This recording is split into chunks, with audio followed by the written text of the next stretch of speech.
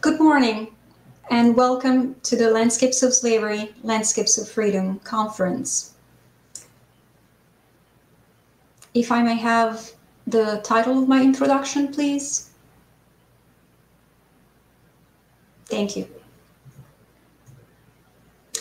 In his 1903 book, The Souls of Black Folk, W.E.B. Du Bois described how a black man's yearning for inclusion in the polity of white America could more readily be fulfilled among the scholars and intellectuals of generations past than in the midst of his own peers. I sit with Shakespeare, Du Bois observed, and he winces not. Across the color line, I move arm in arm with Balzac and Dumas, where smiling men and welcoming women glide in gilded halls. From out of the caves of evening that swing between the strong limbed earth and the tracery of stars, I summon Aristotle and Aurelius, and what soul I will, and they come all graciously with no scorn nor condescension. So wed with truth, I dwell above the veil. Is this the life you grudge us, O knightly America? The space above the veil Du Bois contemplated inhabiting weightlessly was one without racism or segregation, a space that seemed to exist only on the written page, where pure thought would be unconstrained by the material limitations imposed by the other side of the color line.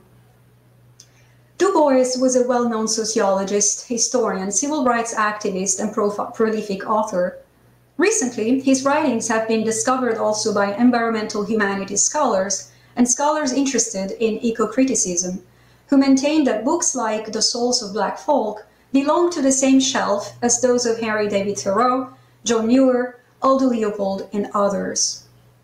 In the essay of Beauty and Death, included in the semi-autobiographical work Dark Water Voices from Within the Veil, published in 1920, Du Bois recounted the experience of a cross-country road trip that took him from the Rocky Mountains to Acadia National Park. His lyrical rendering of the steep and rugged precipices of the Grand Canyon, which he describes as, I quote, a sudden void in the bosom of the earth, whose depth is carved by the Colorado River, a dull and sullen flood gushing forth as if from a wound, invoked the visual images of the Hudson River School's painters of the sublime. But they also summoned the memory of The Bard, the mid-18th century poem by Thomas Gray, in which the landscape is attributed human features that participate in the passions of the sole survivor of the, of the Welsh bards during the apocryphal slaughter at the hands of Edward I. Such affinities place Du Bois squarely at the center of a long tradition of writers on the sublime, from Longinus in ancient Greece to Robert Smithson in the 20th century. Du Bois was also well versed in the genre of the picturesque tour, which has a long history in landscape writings. In fact, the rhetoric of the tour he employed in The Souls of Black Folk to evoke the atmosphere of the rural South. The question then is, why are in Du Bois's writings also part of the landscape architecture canon? And what veils has the discipline erected that have compartmentalized a scholar like Du Bois away from a field that has historically engaged in debates with philosophers, designers, artists, and even clerics about the nature of the sublime and the question of, the, of its distinction from the decidedly more designer-friendly aesthetic of the picturesque. If we were to expand this inquiry, we would also notice how the black landscapes of slavery and freedom rarely emerge, if they emerge at all, in landscape architecture historiography. In order to understand why this is the case, we need to allow ourselves, however uncomfortably, to examine what we do and why, where our discipline comes from, and, more importantly, whether it is time to lift the veil, or veils, and do our part to erase the color line. It is fitting that this inquiry should begin at Harvard because it is here that the first landscape architecture program in the country was launched more than 120 years ago, with Frederick Law Olmsted Jr. at its helm. But in addition to practice self-reflection, it's useful to ponder just how complex the black landscape of the African diaspora and Afro-descendants is, and what kind of expertise, sources, and research methods are needed in order to tell its story. In this regard, a look at the biographies of our speakers suggests that to attempt to do this story justice, we need to engage in a dialogue with archaeologists, anthropologists, uh, scholars of history and specialists of African American history, his literary scholars and artists and descendants, among others, each one of them offering a different perspective, each one of them allowing us to piece together one side of the coin. The other side of this American coin, that is, is the landscape of white America, itself inclusive of foreign trends, which is the subject of copious design literature. I use the term design here to highlight the fact that landscape architecture has always been, since, it, since its inception as a profession and academic field in the early 20th century, a self-proclaimed design discipline, and as such, its historiography reflects this primary mandate. After replacing Olmsted Jr. as chair of the landscape department at Harvard in 1906, James Sturgis Pray wrote, I quote, the point of view of our instruction is that of a fine art, an art of design, in the practice of which the materials used are subordinated to the principles of their arrangement. Perhaps unwittingly, Pray's definition of the art of design embodied the conviction that landscape architects make neither landscapes nor gardens. At best, they make drawings and models of them, by means of which they perfect the principles of their arrangements that is their composition. This is an idea that landscape architecture borrowed from architecture, and in fact, prior to 1906, the two disciplines were taught within the same department. In architectural theory, a concept of design was articulated as early as 1485 when Leon Battista Alberti wrote in his De Re Aedificatoria that drawings and models are tools employed by designers during the trial and error phase of their creative process which eventually leads to the layout of a building.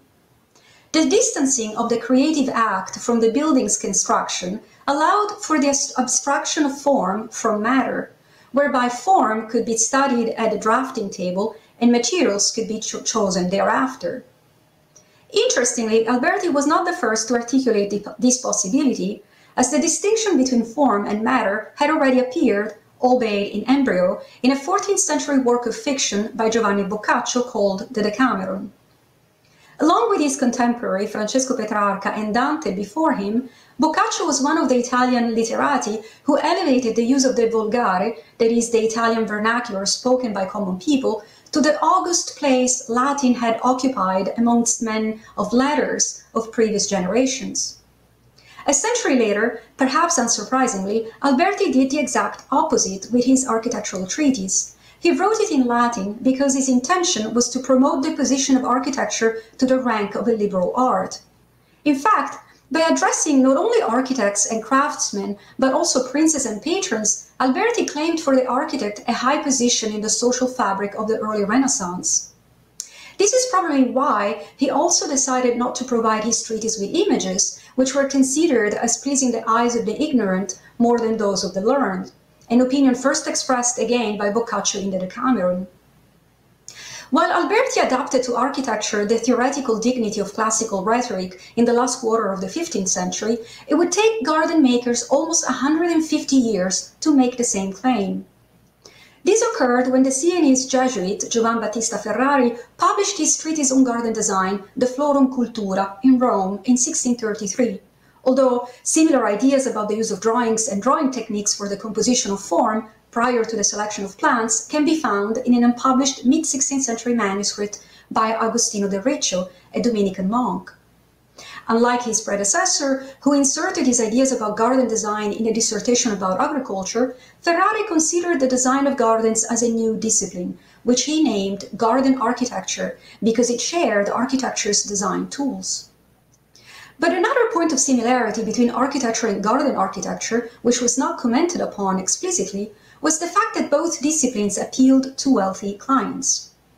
Alberti's De Re Aedificatoria included a letter written by the poet Angelo Poliziano to Lorenzo il Magnifico, and the first Latin edition of the Florum Cultura was dedicated to the powerful Cardinal Francesco Barberini, one of the Pope's nephews. Of course, the fact that the design disciplines, whose working principles were spelled out in Latin, were brought to the attention of wealthy patrons in the early modern period doesn't mean that prior to that time, the arts of building and planting gardens didn't exist. but it does mean that before a design theory began to be articulated in writing, building and garden making were indebted to vernacular practices where the creative and implementation processes were intertwined and inseparable, where the productive was also pleasing, where matter dictated form rather than the other way around, and where the secrets of the craft were handed down from one generation to another in the form of oral and slowly evolving traditions. With the emergence of design theory, the stonemason became an architect, and the garden maker, who was typically also a fontaniere or hydraulic engineer, sometimes also a plant collector, a painter or a sculptor, he became a designer. And once the designer's new professional status was recognized and accepted by society's elite, the practice of self promotion began. The first and most successful architect to advertise his own work is, as is well known, Andrea Palladio, who compiled the woodcuts of his own designs and published them in 1570 in a book called I Quattro Libri dell'Architettura. The book functioned as a modern-day design portfolio, with the added bonus of explanatory text that helped popularize Palladio's insights into classical architecture and his translation of the latter into a modern architectural syntax. The latter appealed to the Venetian oligarchy at a time in which the latter was interested in the crafting of a new self-image. Architects and amateurs aspiring to become such, from Lord Burlington to Thomas Jefferson, used the book to teach themselves the principles of good design. Palladio's design theory was easily applicable, which explains the success of the Libri across the Channel and the Atlantic, a success that also secured Palladio's permanent place in the Olympus of early modern historiography. Like Palladio in the Quattro garden designer Stephen Switzer published his own work in the Ichnographia Rustica in 1718, promising his audience, I quote, directions the, for the general distribution of a country seat into rural and extensive gardens, parks, paddocks, etc., and the general system of agriculture all of this is illustrated from the author's own drawings. But unlike the Quattro Switzer's Ichnographia also included a section titled History of Gardening, which was less an objective account of historical developments than an attempt to engage in stylistic propaganda. Switzer conveniently forgot, for example, the name of his French colleague André Le Nôtre, whose style he presented as rather outdated in contrast with his own, which was said to reflect, I quote, the greatness of mind that reigns in the English nobility and gentry, end of quote. Subsequent landscape histories emerged that offered asserted versions of designers' propaganda imbued with nationalistic pride. Landscape history broke free from the claims of current fashions only when designers began to replace self-promotion with cultural relativism a change that first emerged in the writings of Scottish botanist, garden designer, and historian John Claudius Loudon, the author of the impressive Encyclopedia of, Garden, of Gardening, published in 1822. Loudon's garden history had no rival until well into the 20th century, when contributors to garden and landscape history came not only from the world of design or horticulture and medicine, and medicine as had been the case earlier, but also from a variety of other fields such as history, art history, geography, and literature. The fresh perspectives brought by these disciplines expanded the interpretive lens used to attribute meanings to forms. So, for example, the new narratives analyze gardens as images of transcendence, the garden as a symbol of paradise, and then in the 21st centuries as allegories of power. But despite this broadening of meanings and scholarly lenses, the main focus of most investigations has been the design landscape, which is very often the landscape of the elite. This doesn't mean, of course, that designers have always ignored the vernacular, but the cases in which we can say that they have not are very few, and such cases very rarely enter historical analysis. Students of architecture and landscape architecture, for example, will not remember Palladio for his gardens. Yet, Palladio's most well-known projects are villas, perfectly positioned like jewels in the midst of, of the horizontal Venetian countryside. Apart from a mid-20th century essay by amateur garden historian Georgina Masson, and later the seminal study of the Palladian landscape by cultural geographer Denis Cosgrove, Palladio's, Palladio's gardens have attracted little attention, especially if compared with the volume of writings addressing the landscape gardens gracing 18th century neo-Palladian country houses in England. The main reason for this omission has to do with the fact that Palladio's gardens were not the product of design, They were rather vernacular broli, that is, productive orchards, not dissimilar from those found elsewhere in the Veneto region. There were also no less gardens than their design cousins, however, but they were planted and implemented on site, not at the drawing table. Palladio himself didn't say much about them in his treatise, other than reporting the self-evident truth that they ought to be planted in the adjacency of the villa grounds. He didn't spell out for his audience what design principles vernacular orchards might contain. Unlike Palladio, uh, Gertrude Jekyll, the English garden designer and artist who set out to document the innate beauty of vernacular cottage gardens in Surrey, which in the mid-19th century were at risk of being lost to development, she distilled from them an aesthetic, uh, the aesthetic principles she later incorporated into her planting design theories. And these theories have been celebrated by historians of the English flower border ever since. Given these precedents, it would be useful to consider whether the writings of Du Bois may not have attracted the attention of landscape historians because the picturesque rhetoric he adopted in The Souls of Black Folk is not that of design theorists and improvers like Uvedale Price and Richard Payne Knight, who urged landowners to reshape their estates along picturesque lines, but it is rather that of William Gilpin and Sir Walter Scott, who aimed not to redesign, but to bring the rural landscape to the attention of everyday visitors.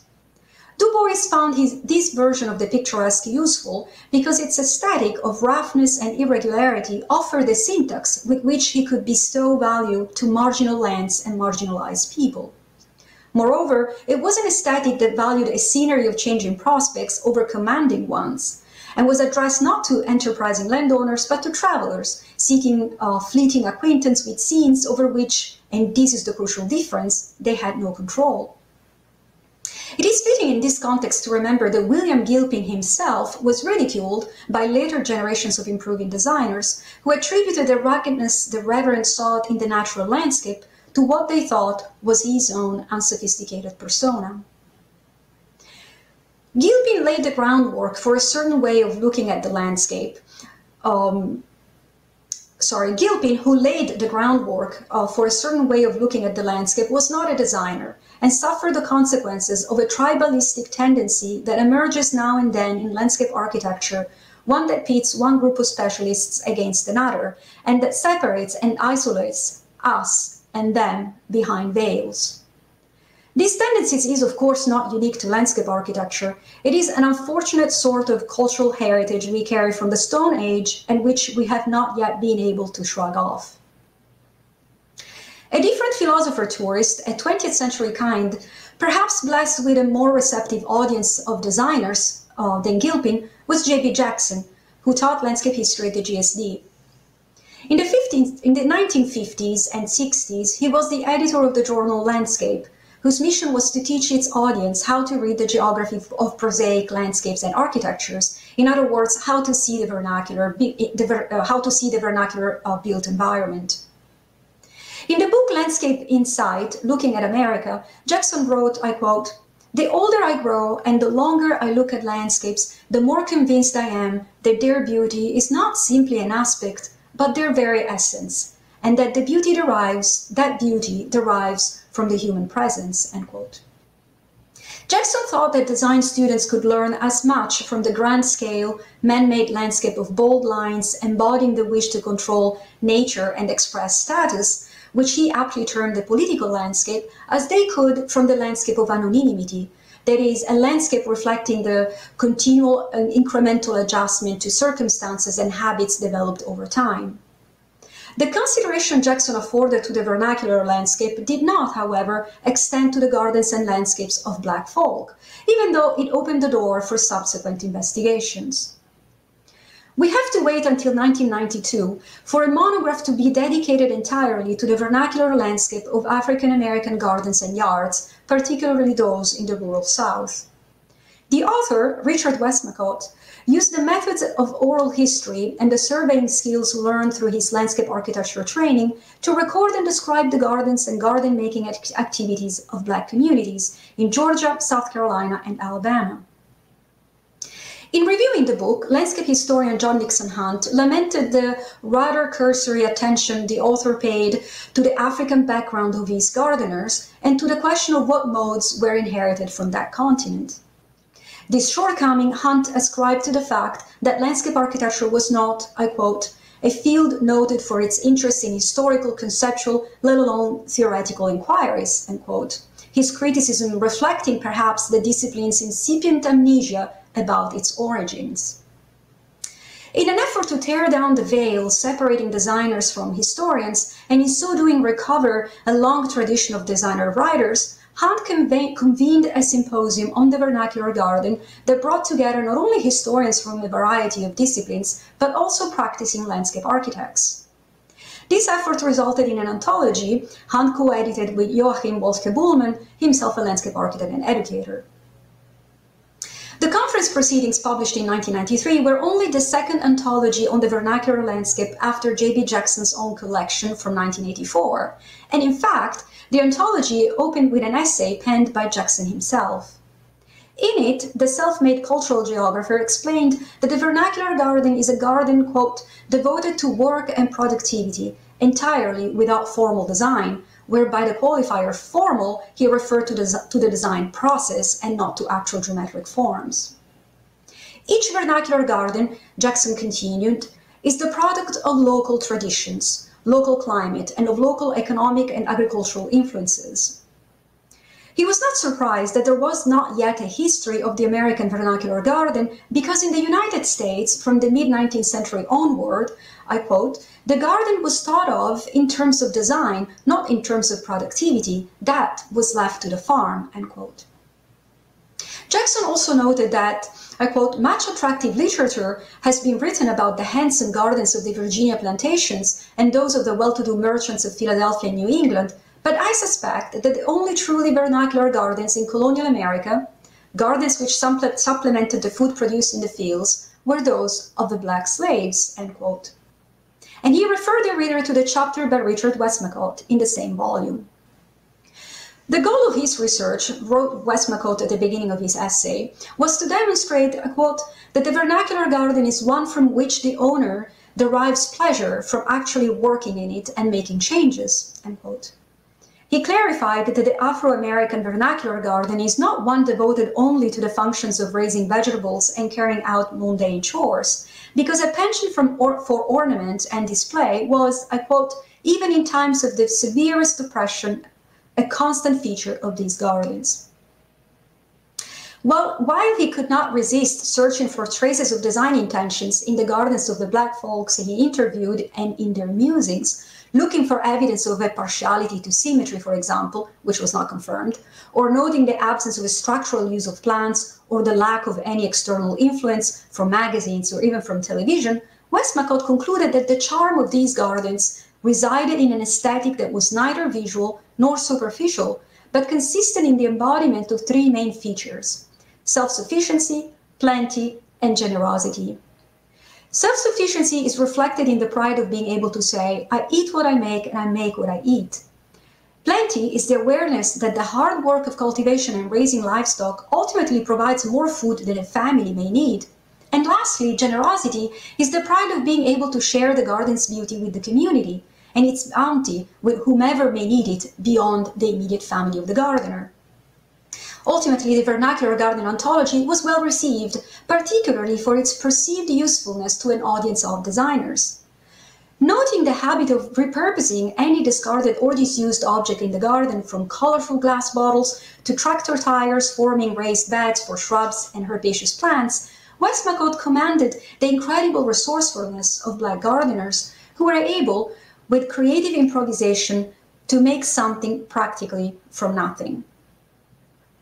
Art historian Michael Charlesworth, who reviewed the anthology for Landscape Journal, the official publication of the American Society of Landscape Architects, opined that rediscovering the vernacular would help designers' creativity and offer a remedy to those in the grip of clients mediocre, with mediocre taste. I quote, Never has the inquiry into the designs of garden, into the doings of garden makers at the grassroots been more urgent for the design professions when it has become alarmingly apparent that the landscape architecture profession seems bent on showing itself fit only to pander to the worst type of middle of the roadism. And when the wealthy in society seem able to think only in terms of commissioning works that amount to what Ian Hamilton Finlay has characterized as caution at all costs, free conformism, end quote. While Charlesworth welcomed the, the decision of landscape historians and designers to write about folk gardens, he also took the editors to task for giving the impression, I quote, of the elite peeking around the subject with kid gloves on, having to justify this latest endeavor by reference to interest in non-canonical texts in the humanities, end quote. Charlesworth suggested that the, that the editors likening their deliberations on the vernacular garden in their introduction to, I quote, the study of astrology by historians of science or of Quakery by medical historians, end quote, was nothing short of patronizing. But Charlesworth himself referred to vernacular gardens as low-level doings, an unfortunate choice of words which signals, on the one hand, the, desi- the desire to explore the vernacular as a useful curiosity and as, and, a and as a panacea for the floundering creativity of designers, and on the other, the reluctance to allow the vernacular the dignity of its own identity and meaning. These attributes echo the ridicule the picturesque was exposed to in this country among persons of education in the mid 19th century, when it stopped being the style of choice of the elite who could afford the services of a designer, and gave rise to its own version of suburban white vernacular, especially after being popularized by Andrew Jackson Downing. As J.B. Jackson implied, the vernacular version of the picturesque disappeared behind a veil of intolerance. Obviously, the veil was still up in the last decade of the 20th century. In the 21st century, few studies of various forms of vernacular landscapes have been published some of them included in accounts of indigenous community gardens, and some as part of investigations into landscapes of ritual. None of these studies were reviewed by landscape design journals, however. A resurfacing of designers' interest toward both the vernacular and specifically the black vernacular occurred just a few months ago, when UVA Press published an anthology titled Black Landscapes Matter, which takes inspiration from the social movement for Black Lives and was edited by landscape architect Walter Hood. In the volume, distinguished professor of landscape architecture Kofi Boone asks, I quote, Mainstream landscape architecture history, theory, and practice relegates the critical black landscape to historic preservation, cultural anthropology, and archaeology. Why can they not be read as landscape architecture? End quote. The answer to Professor Boone's question, however, is in the book itself and in his own text. Boone reports the remarks of cinematographer Arthur Jafa, who, I quote, characterized the breadth of Black expression as grounded in the spectrum between the sacred and the profane, making no distinction between high and low cultural practices. Jafa observed that the innovative and avant-garde creative expressions present across Black popular, popular media culture, music, and fashion indicate that the spirit driving the making of powerful artifacts is as strong as ever. He made a point, however, of excluding architecture and, by extension, landscape architecture from this phenomenon. In Jafa's mind, the built environment professions do not operate in the same area as other creative traditions the level of education, low exposure of the professions to black and brown communities, and the difficulties involved in generating the necessary capital to create a building or a landscape are all barriers, end quote. Boone ponders whether it may not be time, I quote, to begin a radical rethink of the profession, end quote. While not addressing how the profession might be rethought, his contribution centers on proving that black landscapes matter, and in order to matter, they first need to be seen, which is the main argument made by all contributors to the volume. Incidentally, seeing is what landscape architects do best. Landscape architects use plans, sections, and various visual renderings to examine the potential for a place to be transformed into something else. The landscape architect's drawings are recollections of what is already there, what has been, and projections of what is yet to come. While the end goal used to be purely aesthetic, design now takes into consideration what is not immediately visible, the ecosystems in which we intervene, the need for biodiversity. Landscape architects collaborate with a wide variety of specialists, from horticulturalists to soil scientists to conservation biologists, to name a few. Theirs is the role of an orchestra conductor who is able to create harmony out of many instruments. The only thing the orchestra conductor doesn't do, however, is play. And landscape architects may orchestrate, but they do not make landscapes. And perhaps this is worth reflecting on. J.B. Jackson noted that when that what we must look for in the vernacular garden are precisely those qualities which the expensive and professionally designed landscape rejects. And in order to be able to appreciate the vernacular landscape, he argued, we must first try to discover the personal involvement in its making, maintenance, and use. While pictures of black bodies appear in this most recent effort by designers to recover the African American landscape, black voices from the community are missing.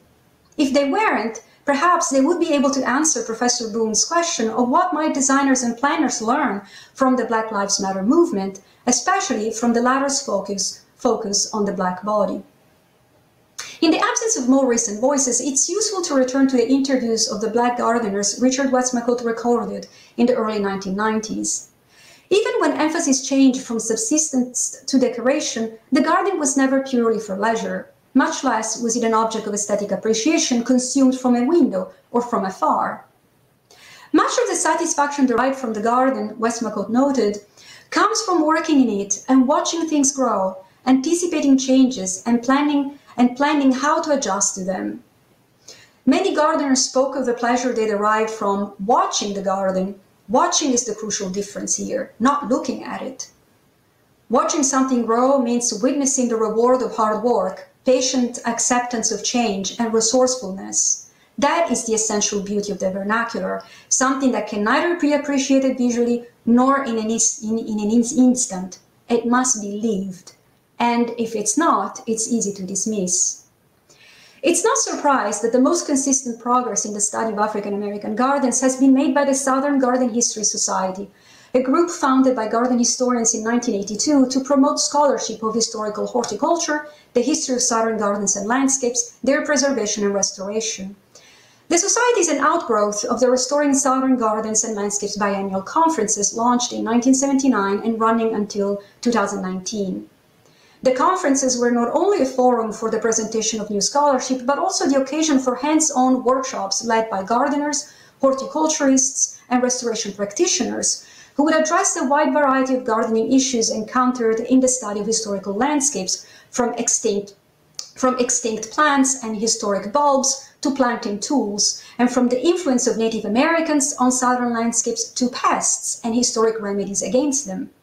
What was special here was the society's understanding that in order to restore a garden, you first need to know how it was made, and that requires the humility of climbing inside the skin of those who have come before and walk around in it for a while. This melange of high-level scholarship and grassroots interest in landscape poiesis allowed the society not only to see black bodies, but also investigate their agency and meanings. What emerges from the oral and written sources on the Black landscape is that it's molded by a direct engagement in cultivation, an activity that requires knowledge accumulated through, through experience and understanding of soils and soil fertility, the ability to recognize plants from the wild, collect them, and discern where they, they want to be planted, and lastly, an empirical knowledge of sustainable gardening and farming. Already decades ago, the practices of Westmacott's interviewees were beginning to be affected by the improvements of white society, which introduced tools like the gasoline powered mower and pesticides. Black gardeners' knowledge of land cultivation must have been impacted by their time in captivity when they were forced to implement the unsustainable farming practices mandated by their enslavers. As Westmacott observed, I quote, Many planters came from countries where soil fertility was maintained by mixed rotational farming systems that also enabled the workload to be spread throughout the year. But most saw no need to conserve soil fertility with plentiful land to the west, and the labor constraint was solved by slavery.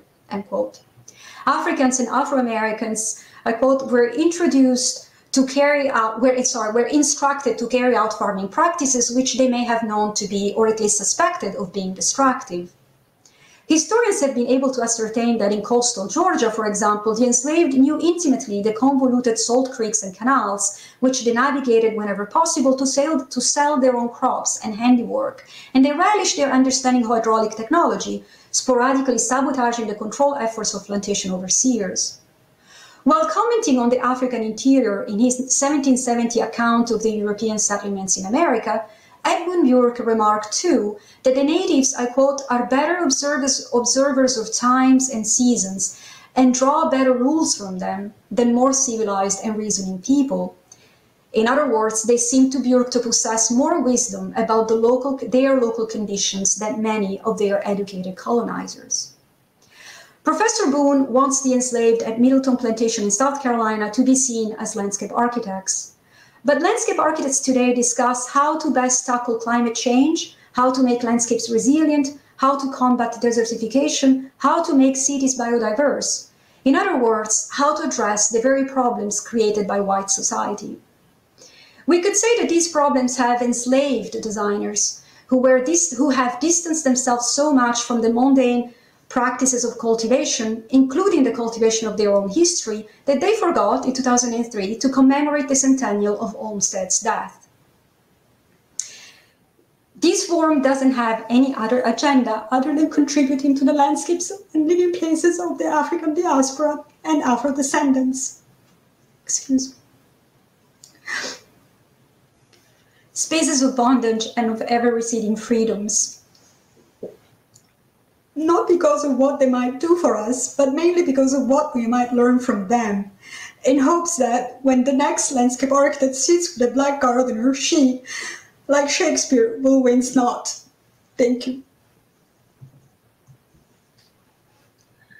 Good morning, everyone. Um, my name is Jarvis McInnis, and I am an assistant professor of English at Duke University. Um, I want to begin by thanking uh, Raffaella uh, for uh, that beautiful um, um, introduction and really setting the setting the scene uh, for uh, our discussion uh, for the next couple of days. Um, and a special thanks to Raffaella as well for inviting me to participate in this exciting conference. Um, I am a scholar of African American and African diaspora literature and culture. And I'm currently uh, at work on my first book manuscript entitled uh, Afterlives of the Plantation, which explores cultural, political, and intellectual linkages uh, between Southern African American and Caribbean writers, artists, and intellectuals in the early 20th century. So I'm especially excited uh, to be a part of today's um, conversation.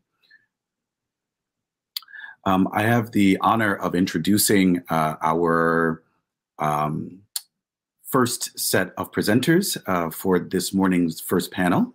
Um, our first presenter uh, is Anne Bowie. Uh, Anne Bowie was born in Birmingham, Alabama. Uh, she grew up in Atlanta, Georgia, and was deeply affected by the beauty and culture she experienced during summers on her grandparents' farm in Florida. Her, fam her family lived in six states, and she had attended seven schools by the fifth grade before settling in Riverside, California, where, where she grew up and eventually graduated from the University of California there. She left Southern California and moved to the Bay Area to enter the Graduate School of Education at Stanford University, where she earned a PhD in administration and policy analysis, a master's degree in secondary education, and a master's degree in African American history. As a mixed media assemblage artist, Ms. Bowie has exhibited at the Honfleur Gallery, Gallery Murtis, the Nevin Kelly Gallery, Millennium, uh, uh, excuse me, Millennium Salon, uh, and the DC Art Center. She has also participated in exhibits in California, Pennsylvania, Ohio, and India. She is a member of the Black Arts of DC, on the Millennium Arts Salon, Washington, D.C. Friends of Brandywine, and the Women's Caucus for the Arts, uh, the Honfleur Gallery, the Washington Arts Project, and the Pen and Brush Gallery in New York. Uh, her presentation uh, today is entitled Hoeing, Harvesting, Healing, and Hexing, the Earth and its Cultivation as Tools of Resistance to Enslavement. And I'll go ahead and present and introduce our second uh, presenters um, or co-presenters. Uh, they are uh, James French and Matthew Reeves. Uh, James French founded the Montpelier Descendants Committee and joined the board of the Montpelier Foundation in 2019. The MDC educates the public about the social, intellectual, and economic con contributions to the nation's founding of enslaved Americans across central Virginia, uh, including at James Madison's plantation, Montpelier. Mr. French strenuously advocated for power sharing to a largely resistant board and led the MDC in achieving structural parity with the Montpelier Foundation by innovating a widely applicable model for resolving legacy power imbalances in organizations. The MDC is the only descendant organizational, uh, excuse me, organization to establish itself as an equal co-steward and has worked in international banking, government, and in entrepreneurial roles across the globe. Mr. French is launching a fintech startup focused on emerging economies in Africa and beyond. Um, Mr. French's uh, co-presenter is Matthew Reeves, uh, who is the director of archaeology at James Madison's Montpelier in Orange, Virginia. His specialty is sites of the African diaspora, including plantation and freedmen period sites and, and the Civil War. In his 20 years at Montpelier, Reeves has developed a strong public archaeology program known for its citizen science approach to research. At the heart of this program is community based research with a heavy focus on investing descendant communities in the research and interpretation process and governance of cultural institutions. He has also led the, archaeo- the archaeological discipline in devising new ways to engage metal detector hobbyists and archaeological survey through his department's work uh, locating the living and work sites of the enslaved community across the 2,700 acre Montpelier property. These new site discoveries hold the future for Montpelier, continuing to tell the story of the enslaved community. Uh, James and Matthew's presentation is entitled Forgotten Witnesses exploring archaeological sites of labor at a presidential plantation. Uh, first, we will have um, a presentation by, by Anne Bowie, and then we will move on to James and Matthew's presentations, and then we will uh, uh, um, have a bit of discussion uh, between the uh, four of us, and then we'll open the floor for discussion. So please feel, feel free to begin to write your comments um, in, the, in the chat. Thank you so much, and um, looking forward to our discussion shortly. Uh, good morning, and I want to echo uh, Michael Twitty's thoughts uh, last evening about what an honor it is to be here. I want to thank uh, Raffaella and Matt and Kit, Kat, and Paige for their support and their expertise. I'd like to thank all of those seen and unseen who guide us in this work, who appreciate this work, and for whom on on whom's behalf we are doing this work. I live in Washington, D.C., and have had the pleasure of meeting and cultivating relationships with a number of elders who came to D.C. from the South uh, and who remember their legacies and uh, have wonderful storytelling capabilities. Several of them have allowed me to interview them and talk with them about their experiences and even have over time we have dialogued with my research and their experiences and the oral traditions that they carry. Uh, one of these gentlemen is Mr. Perkins. Mr. Perkins is 94 years old, and as he likes to say, he's got everything that he was born with except his teeth. He gardens, he does not use a cane. He can be seen in his yard most days of the week, watching things grow and tending and caring for things. Another friend, Mr. Willie, uh, whom we affectionately call Mr. Willie, introduced me to Mr. Perkins and warned me that Mr. Perkins was extremely opinionated and had no problem in sharing his feelings, observations, and thoughts. And I've come to see him as an everyman in every sense of the word, uh, along the lines of a rural Lawrence Ferlinghetti, for example, who was a longshoreman but wrote poetry. Um, and so, as Mr. Uh, Willie was kind enough to introduce me to him, as I've shared with you, um, I was so excited about meeting him. And uh, Mr. Perkins is sitting on his porch. He's got an old uh, corn cob pipe and a big glass of lemonade that I suspect is spiked with uh, white lightning that he still brews in his basement. And he says, Well, young lady, Mr. Willie says that even though you've been to school and you got one of them PPDs or whatever they call them, you still got a little common sense and respect for your elders and what we might have to pass on. I'll have no time for foolishness, and every day I got left on the God's good earth, I intend to enjoy it through talking with folks who come up asking me about how folk and house folk and field folk and slave drivers and whoopings and nighttime cabin visits and lynchings and suffering. I'm so tired about hearing and talking about all the suffering. Like that's all we did and how it just wore us out and broke us till we couldn't stand up straight. Does it look like I can't stand up straight to you? Do I look beat down and pitiful? Does I look like a grinning fool? Does I look like I got no home training, a reasonable portion of hope and strength, or does it look like I'm ready for a cooling bird? Why, I'm 94 years old and I got everything God gave me except my teeth.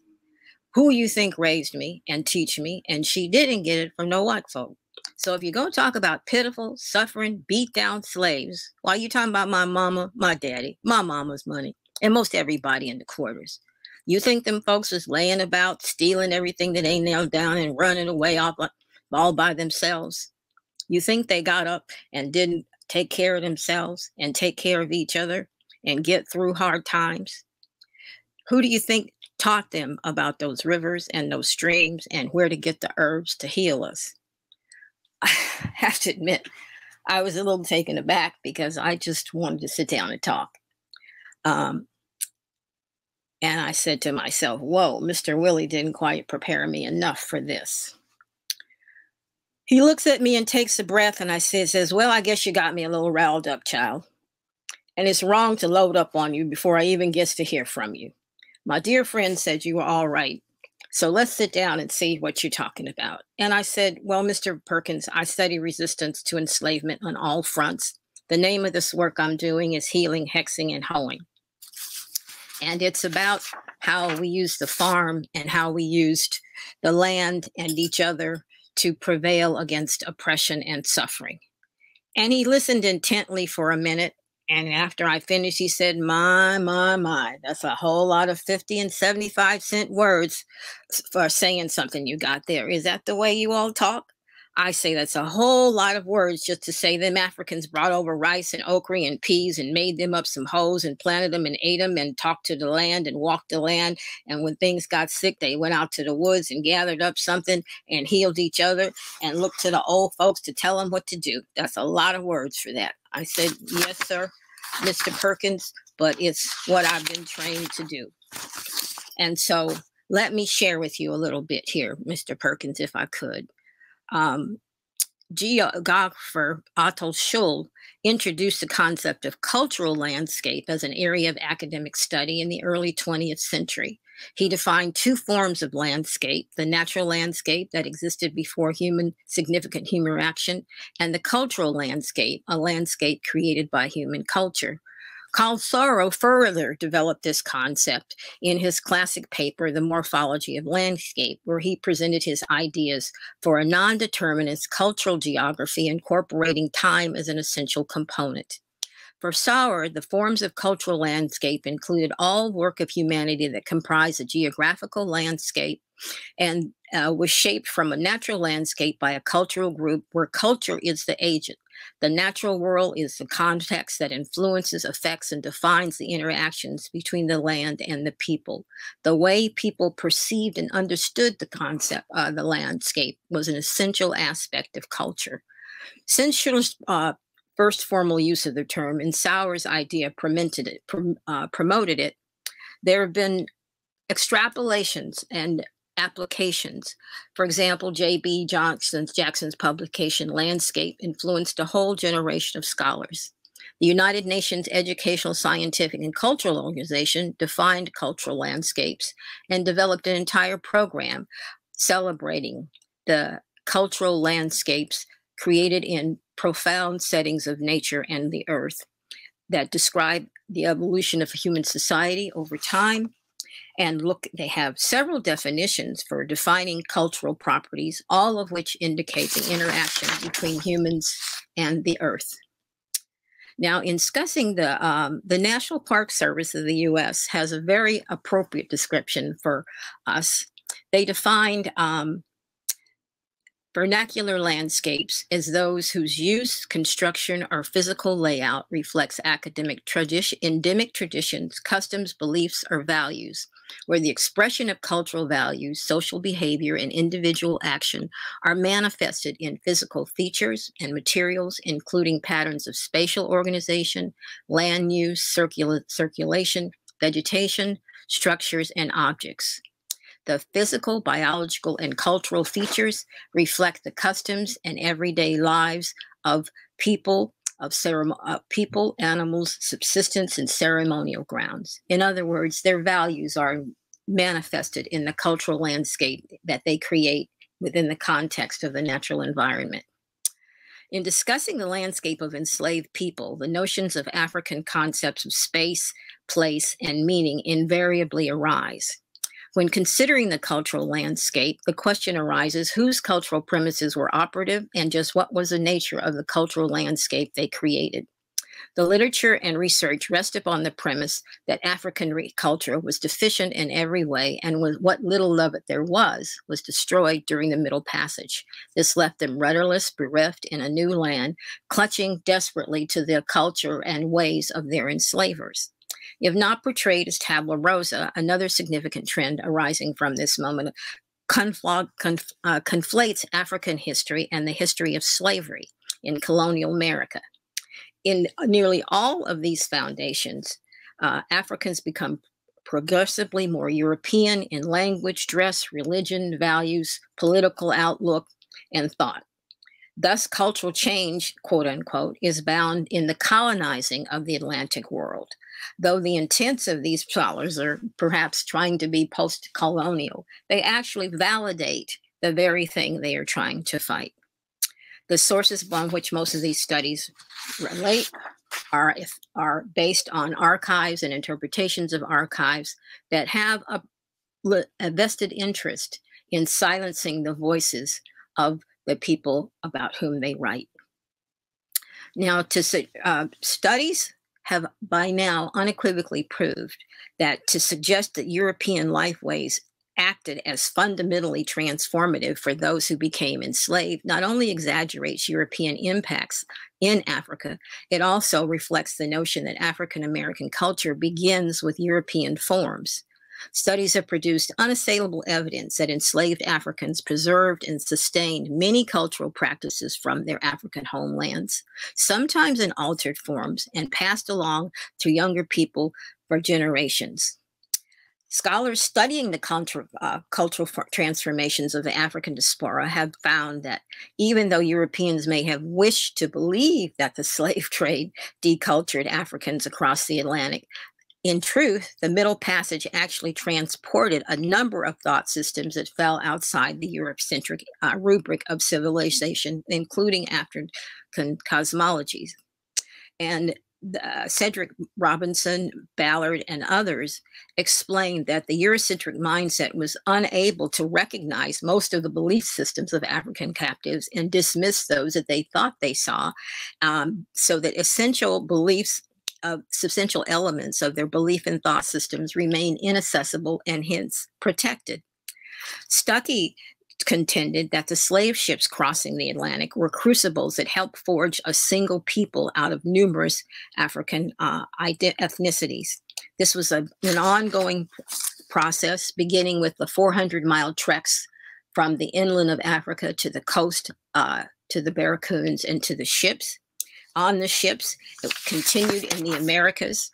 And Michael Gomez indicates that actually the first cultural synthesis, if you will, was not between Africans and Europeans, but be, but among Africans who uh, learned who first had to uh, mix and blend their own worldviews into a common worldview upon recognition that being Wolof or being Igbo or being from Benin had nothing to do with the fact that they were all in shackles and that race and not ethnicity had become the common bond. And if I have 15 minutes remaining, which seems a horrible thing to be, I want to get to uh, the four areas of land. When we talk about gardening and the use of the land, I want to talk about the uh, a, stu- a, study, a share that Mr. Uh, Perkins told me about with Mr. Willie.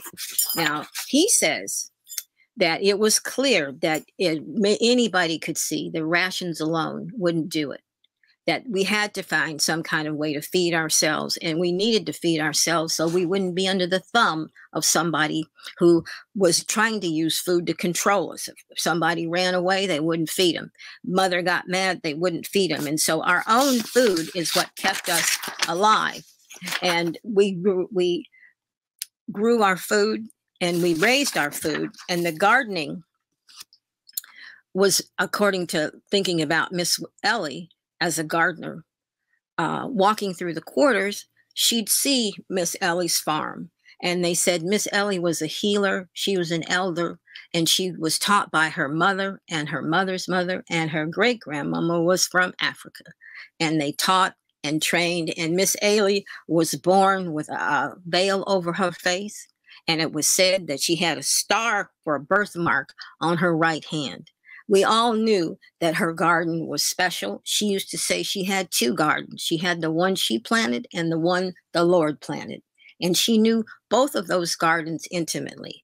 The garden, her garden, she used to hum when she'd worked in it. We watched her talk to her plants and hum to her plants while she planted them. We used when I got to go out into the woods with her to gather herbs, why she could read the landscape like a book. She could tell you what season a plant was growing in, what time to plant it, what time to pick it, why some plants had four or five different uses depending on when she would pick them and when she would gather them and how she would fix them. She'd tell me it was always important to plant on the moon. Don't ever plant a new crop when the moon is darkest. Roots are not going to grow. You want to plant it when the sap is running and when the roots are up.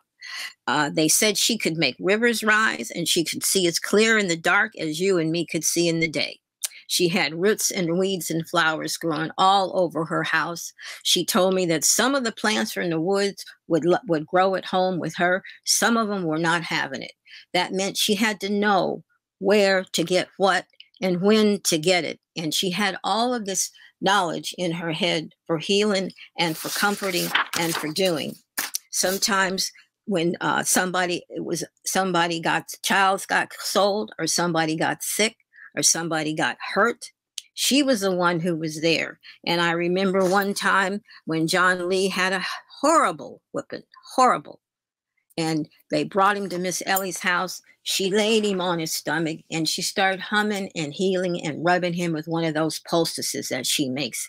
She said it was mullein and honey and a little bit of bare root and she and a little bit of summer wine that she made. She rubbed it all together with some oil and just kept rubbing his back and humming a tune that sounded familiar, but that we didn't know, and brought that man's soul back together and his body together. I saw it for myself. Miss Ellie was treasured among us, and not only was she treasured, nobody missed with her and nobody crossed her. That includes the white folks. In fact, you could see them sneak into her cabin after dark to get some help for themselves.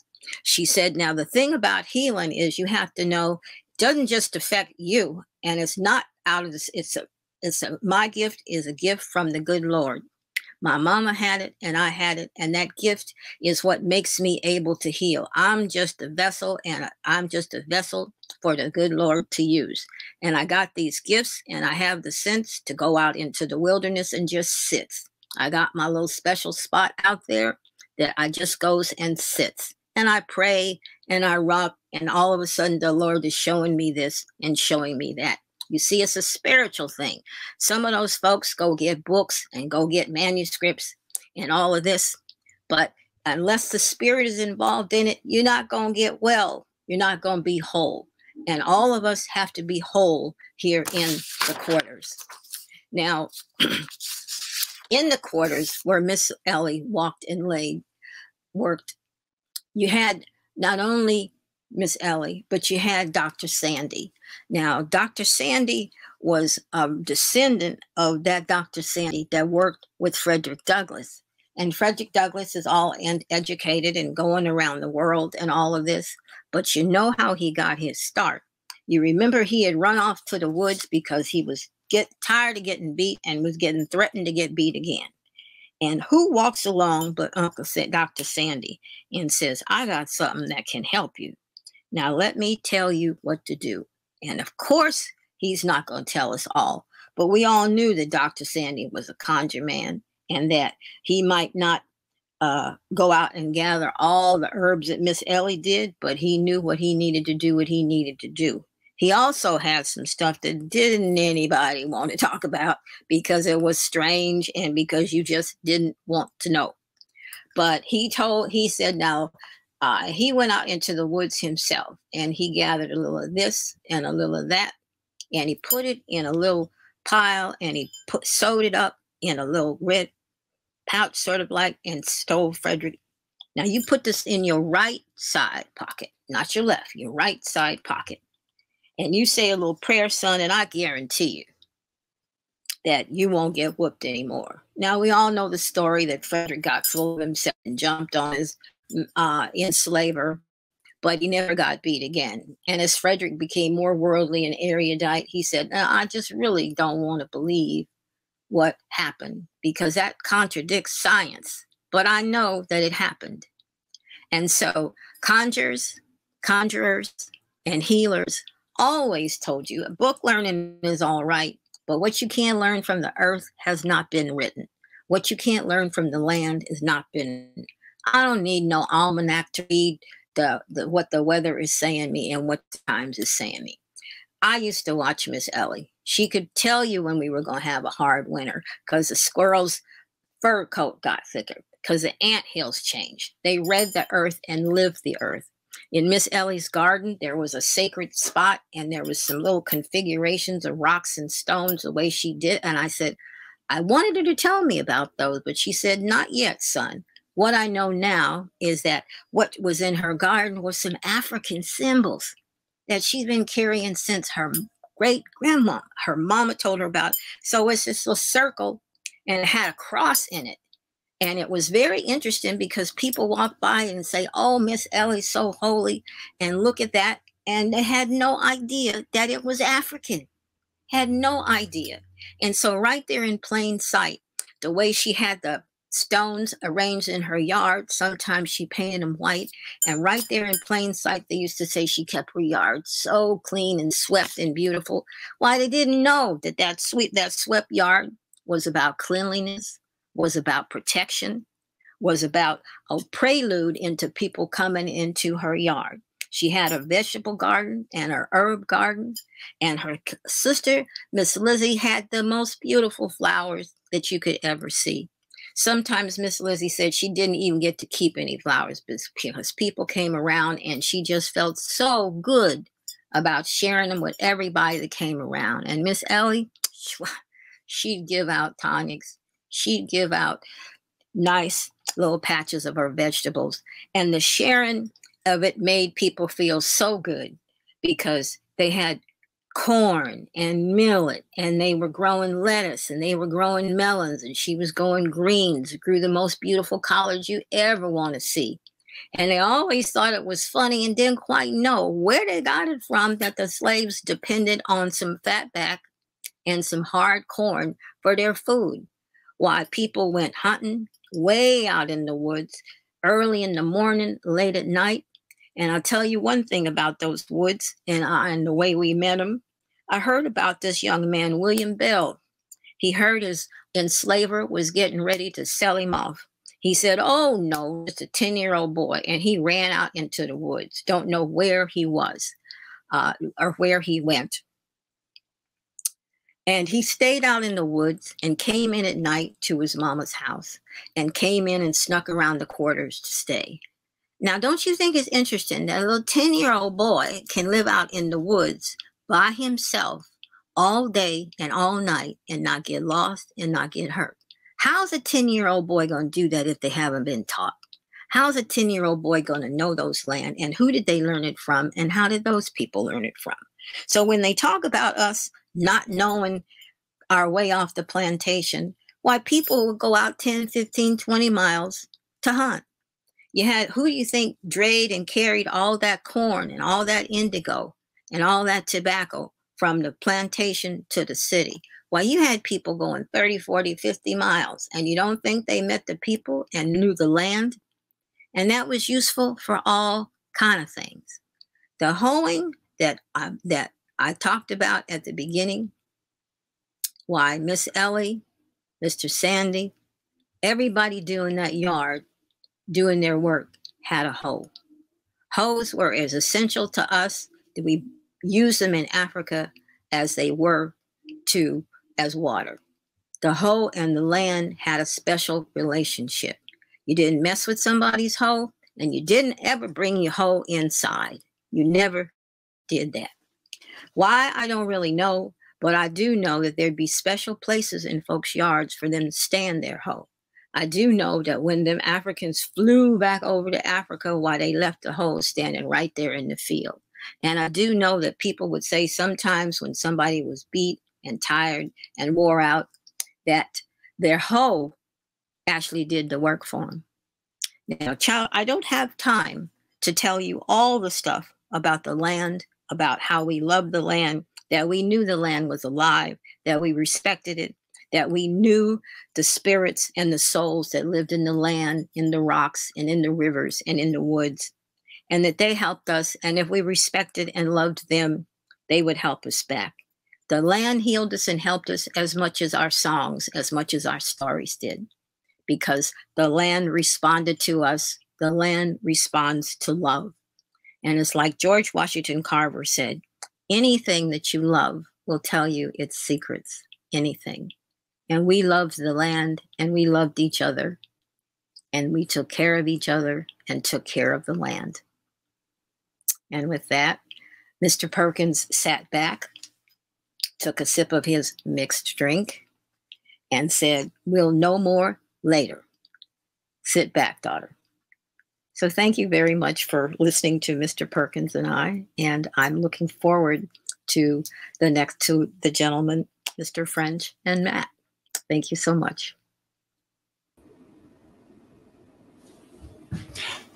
Hello, uh, Dr. Bowie, that was an inspiring talk. Your your uh, discussion of the um, the collective knowledge of the land is one that's really serves as the, the, the new basis for how we're looking at, at Montpelier in the larger landscape. And the the hoe as a sacred object. That's um, we're we find hoes in the archaeology record, and they have a new place for us. So thank you.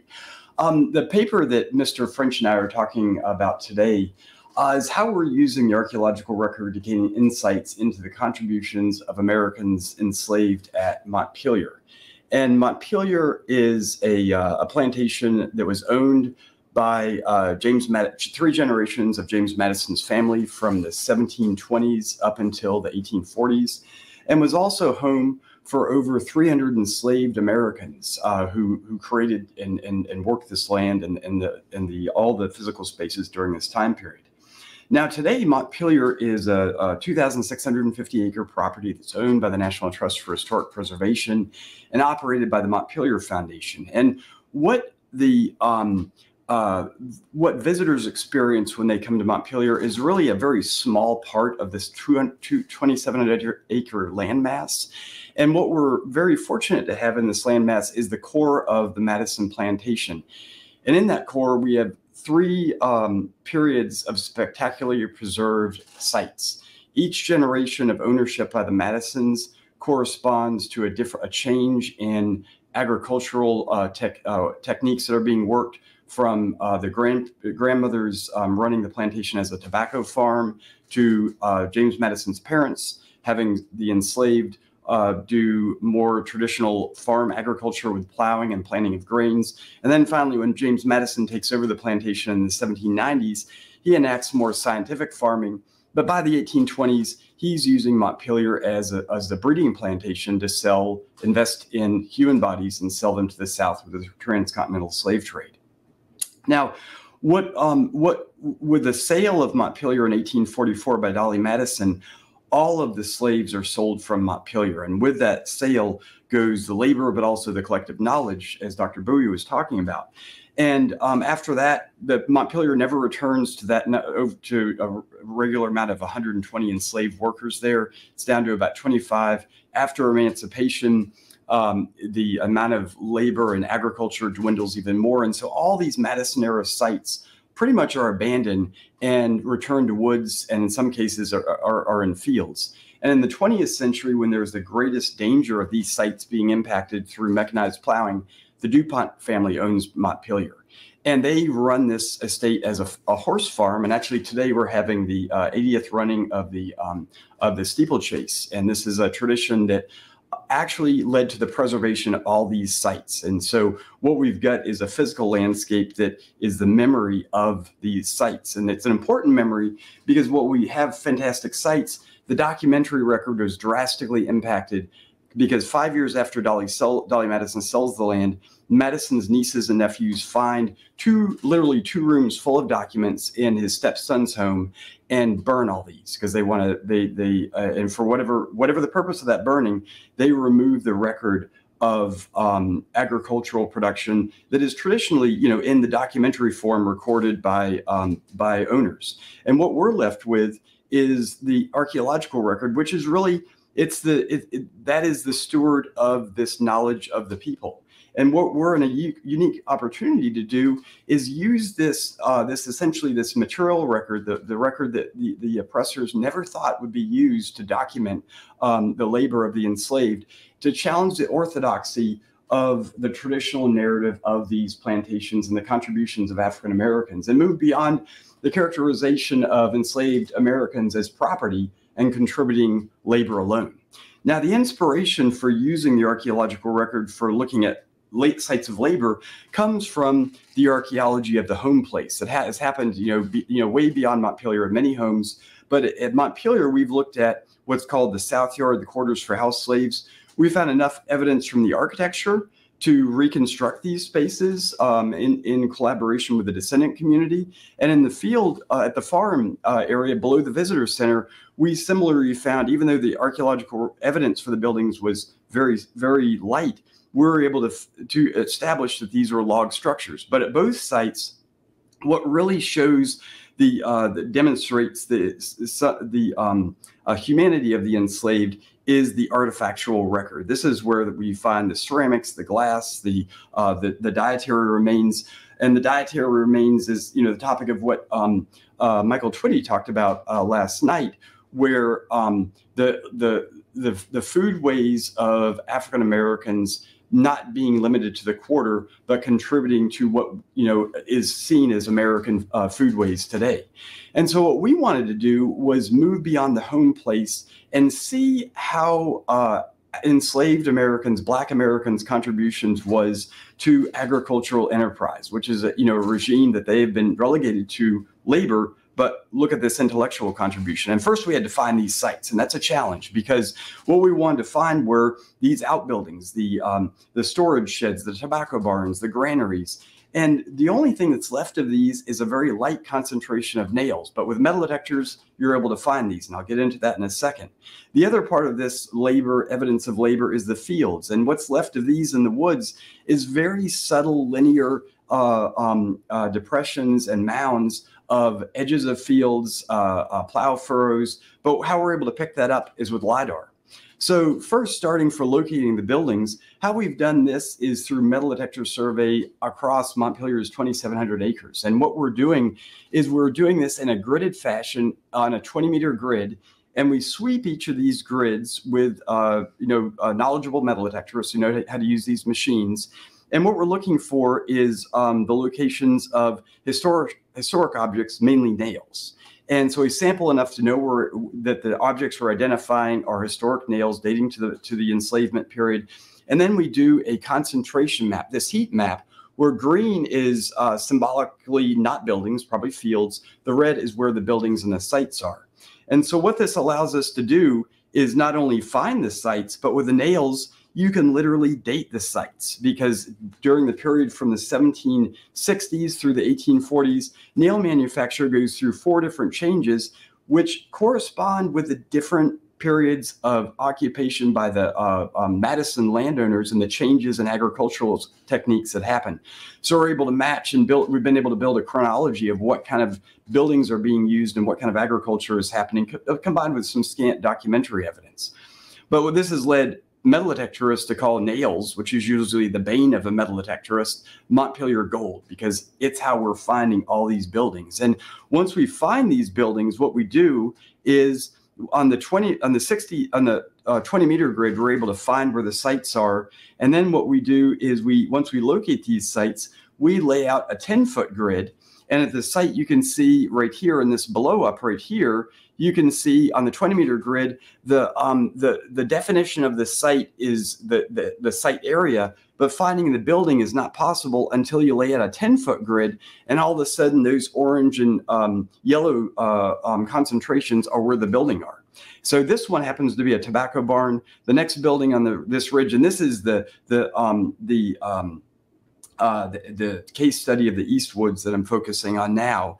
Um, the in the next ridge over, there was another tobacco barn. Uh, the building itself could be seen in this concentration of nails. What allows us to identify this as a tobacco barn is it's located on a, on a, on a ridge that has good breezes. The yard space is very small. All we located at this site and the previous one is nails. So indicative of there's not a work yard that would be, you know, one that would be used with traditional um, uh, agriculture, such as the next ridge over, which was a, um, a, uh, a, threshing barn that we found uh, from the concentration of artifacts and from the metal detector surveys actually found um, parts of a threshing machine. And this threshing machine, which was in a building that we located, was located on a broad, flat area. And there, there are enough other nail concentrations that suggest there are other buildings at this site, probably granaries. And this is probably the main farm complex for this portion of the 5,000 acre um, uh, uh, uh, um, this farm uh, quadrant of the 5,000 acre larger plantations of, of, the, of Montpelier. Because back in the day, a 5,000 acre plantation would be divided into subsections, and each of those subsections worked independently. Now, immediately adjacent to this ridge, what we located was a slave quarter. And what it turned out is that the where the nail concentration was and the artifact concentration was wasn't where the building is. That was shown by the presence of a chimney base that had survived. Remember, these are all unplowed contexts that were abandoned in, in the 1840s and 50s. Where the, the red area is here was where we were finding uh, items such as scissor blades, thimbles, buttons, all indicative of a um, of a, um, uh, a living spot. Um, now, one of the other sites we recently just found is probably a log structure with a stick and with a um, with a, a, stone and brick chimney. Now, one of the other sites we recently identified and surveyed is an area where we found a, a few nails, but then lots of cooking pot fragments.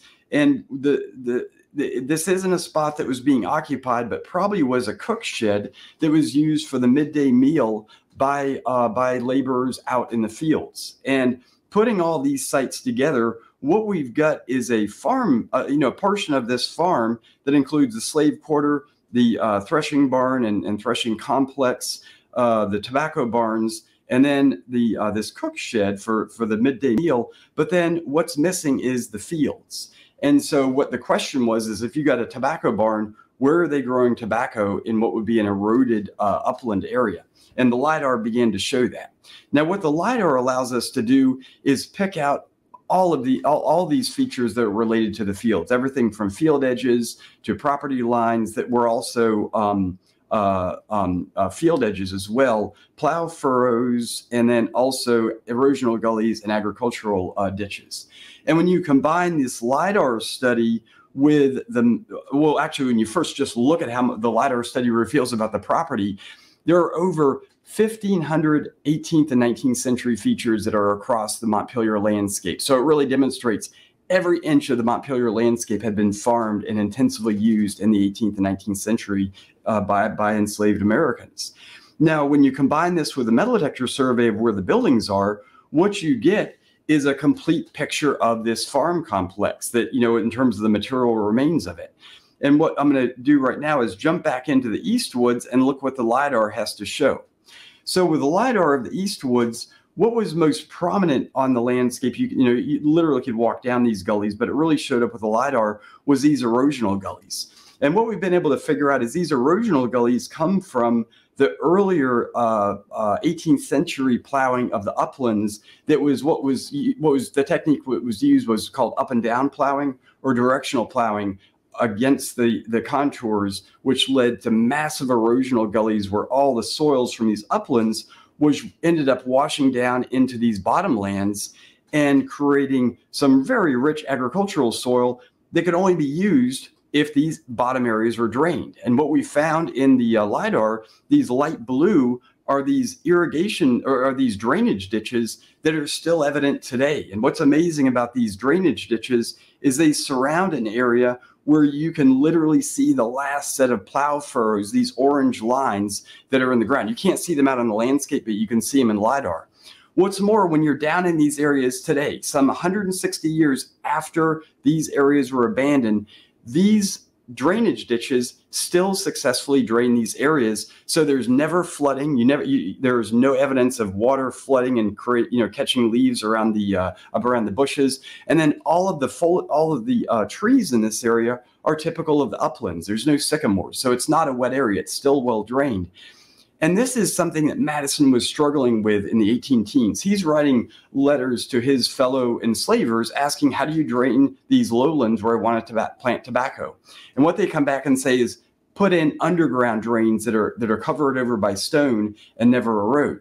Well, when you look at what happened down in this landscape, he didn't do that because there, there's no not enough stone at Montpelier to cover these. So what um, what we're what we're um, uh, looking at in this area is black engineering, where you know the landscape and you know where the waterways are uh, are um, coursing through this area, know where to put catchment basins, and you're also working with a group of people that knew how to move soil because this is evident in the uh, the roads uh, that are out there where the the uh, the um, these shouldered roads continue to be used today even though they, they're not maintained. So you, people have a working knowledge of the landscape, how the water runs, and how to, how to create these soil features.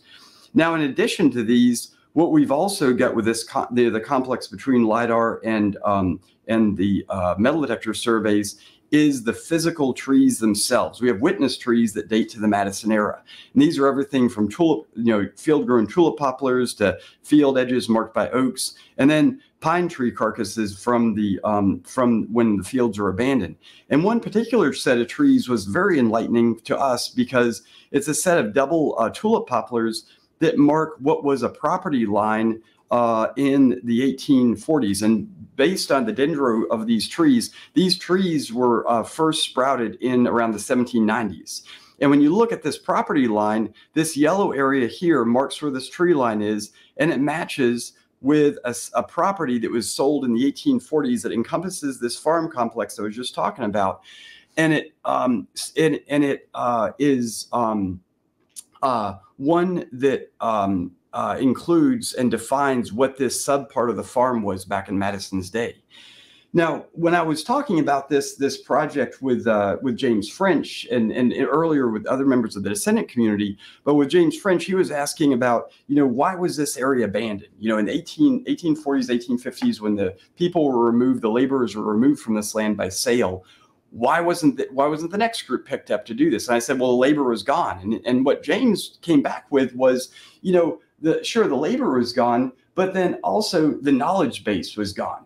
And what this question really challenged um, us to do is start to begin to expand our analysis of these landscapes to include what the Black intellectual contributions were and, and move, move Black intellectual contributions from just being the, the, the venue of vernacular and folk life, the periphery, to really looking at, at the core, such as this, these agricultural um, operations that have traditionally been seen as the exclusive domain of white elite. And um, what uh, I'm, I'm going to pass the uh, show over to James next, and he's going to talk about how he's he's helping us really begin begin to expand our um, our horizons on, on all of the, all of these studies. Thank you, Matt. Um, and thank you, everyone. I, am honored to be here today. So, um, what I want to do here is to look a little bit, pull back the lens, and look at this region, which is really a landscape uh, in and of itself, uh, in which Montpelier sits. Now, you'll see on this map, uh, you have two large towns, Fredericksburg and Richmond. This is the Piedmont region of uh, of Central Virginia, the region between the the kind of the coastal plain and the Blue Ridge Mountains, um, and the region is kind of defined by rivers that uh, flow from the mountains to the sea, and they and and and Richmond and Fredericksburg are um, are the river heads, where in other words the ports uh, that uh, all in in the in in this early era all of the tobacco and agricultural products that were products of enslaved labor, they would uh, be shipped to markets through Fredericksburg and Richmond. And you'll see that Montpelier is uh, along a chain of smaller mountains, a little bit to the east of the Blue Ridge Mountains. And these mountains are called the Southwest Mountains. When you look at this, um, you'll see that Montpelier is one farm in a landscape um, that is um, essentially uh, known for its rich soils and its agricultural potential. And the soils are the, the uh, Davidson clay loam. And um, it's, it's, it, you know, it's Montpelier wasn't put there haphazardly. It, it, it occupies uh, a very strategic location for this region. And that there are many other sites that are very similar to Montpelier, other plantations, uh, some in, in Barboursville, where the Barbour uh, Mansion uh, sits today, uh, where my ancestors were enslaved. And then you have Monticello a little bit further to the southwest, uh, all along this uh, region. And this land, as I said, is connected by the, ri the rivers, the geology, um, but most importantly, it's connected by enslaved communities um, who interacted across property li lines. So um, it's often uh, in, in, in the current Orthodox historiography, we don't uh, learn about the uh, families who crossed over uh, the, the boundaries, the property boundaries of slave owners, we think of them as being kind of confined to specific land. Um, but uh, they're also, this landscape is also interconnected by the knowledge that was uh, transmitted by these enslaved communities. And, and, and that knowledge now is beginning to be, um, to be looked at and uh, and Matt just uh, talked uh, earlier about um, about uh, some evidence from the ground of this knowledge base in terms of hydrological engineering that essentially the enslaved laborers brought with them from Africa uh, to to this landscape and and and passed down over generations. Three hundred people were enslaved in Montpelier for over 140 years, and essentially the knowledge came from them and that is the challenge of the of the historiography and we're going to get into that in just a, a second. So what the montpelier descendants committee has done is we have kind of we're looking at this landscape uh, the region but it's really a landscape as containing several different community sites and we recently um, were very fortunate to win a grant from the National Trust African American Cultural Heritage Action Fund to design in this landscape a new national trail that will connect them, these sites of enslavement, uh, these, these, these, these former communities, um, so that people can physically experience by hiking and, and camping connect connect these um, these these communities as they may have been experienced when they were still active. Um, and so um, it, it will be this national trail, this design project, if you will, will uh, allow the public to experience not only uh, the communities, but also the science that will uh, continue to uh, to to to be sponsored and to and and in a live form. So we're hoping that we can find uh, many other uh, uh, Matt Reeves and and and copy and paste that type of expertise all along the trail, and for the public to be able to experience it. And that presents a, a huge opportunity for landscape design because essentially you have to choose how we're going to allow uh, the public to experience this landscape uh, and how they can do so and learn really uh, uh, challenge themselves to learn about the contributions of enslaved laborers in the actual founding. We consider them to be invisible founders. So let's let's look a little bit um, into the um, into how this works from a from a knowledge perspective.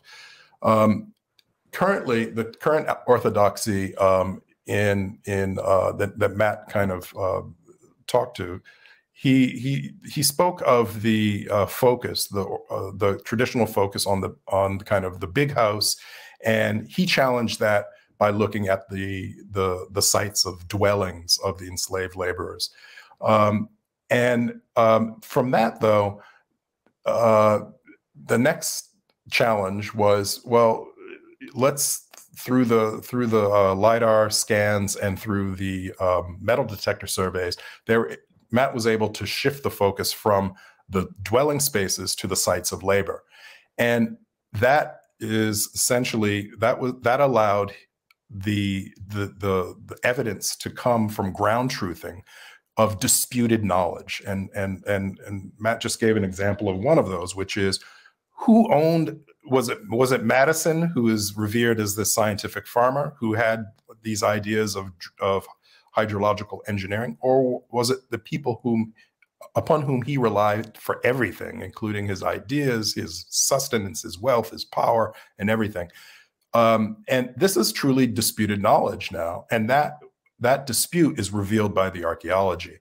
Um, and and so that dispute, that knowledge, feeds uh, the historiography. How how the um, how the story is traditionally told and how it is now evolving.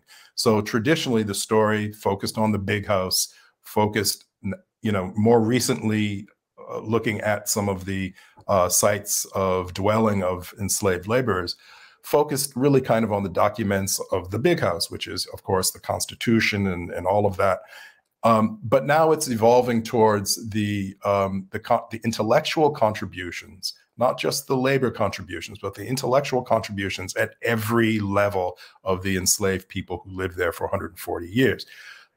All communities, uh, uh, James Madison essentially lived in an African American community. The Madison family was, if you will, uh, outnumbered 24 to 1. For every Madison member, there were 24 enslaved laborers. And so it's not just labor that flows from the from the enslaved people to Madison, but it's culture, it is uh, uh, ideas, it is intellect, and we've and, and we won't talk about it today, but there is there's other evidence that shows that some of the books that the Madisons were were reading were found in the homes of the enslaved uh, uh laborers um, um, uh, decades, centuries labor later.